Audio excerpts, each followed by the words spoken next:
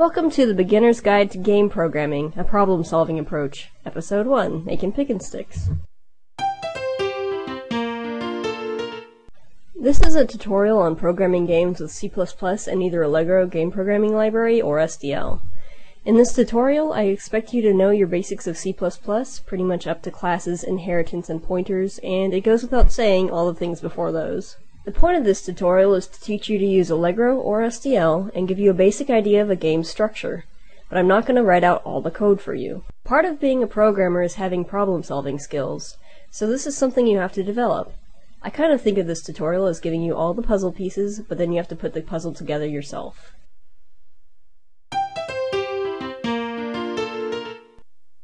So what are we making? We're making Pickin' Sticks. What is Pickin' Sticks? Well, this should sum it up for you.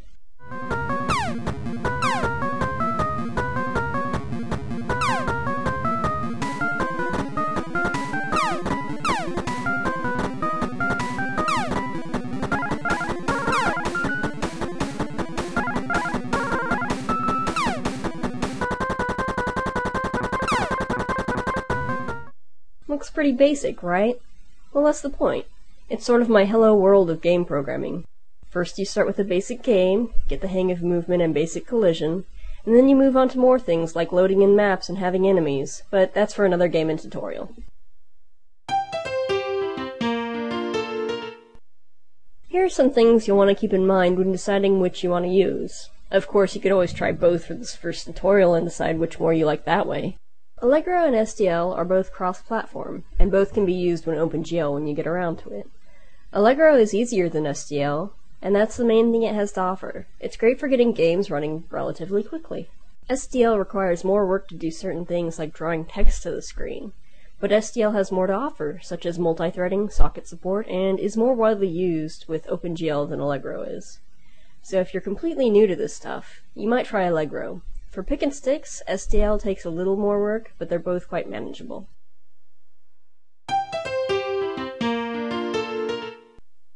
Well, I currently can't afford internet access. This means I can't go online and show you how to set up Allegro and SDL.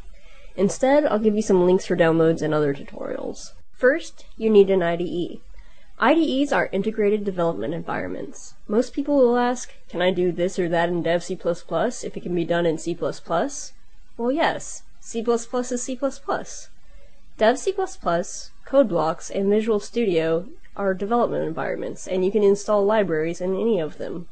If you've never installed a library before, I would suggest Dev C++, as it will install the library for you.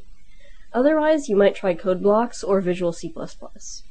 If you want to use Visual C++, you can get a free version called Express, which is on the Microsoft website. If you're going to use Dev C++ in Allegro, Google Allegro DevPak. Download it, and double-click and you're done. For anything else, you'll just have to Google it.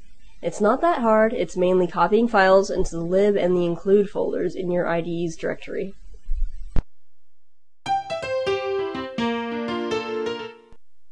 Here are some other handy tutorials available online for Allegro and SDL.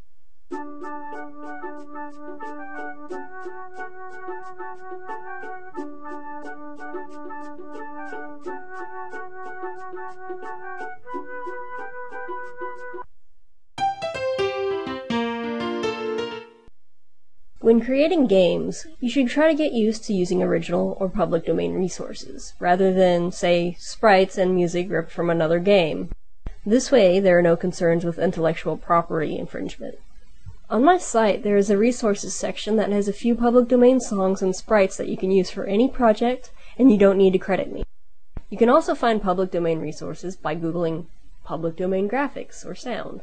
If you're up to making your own resources, here are some free tools you can use. DrPetter has created two useful sound apps. SFXR generates retro-sounding sound effects for you, and his Musagi tool is a music mixer, which also has a lot of retro-sounding samples.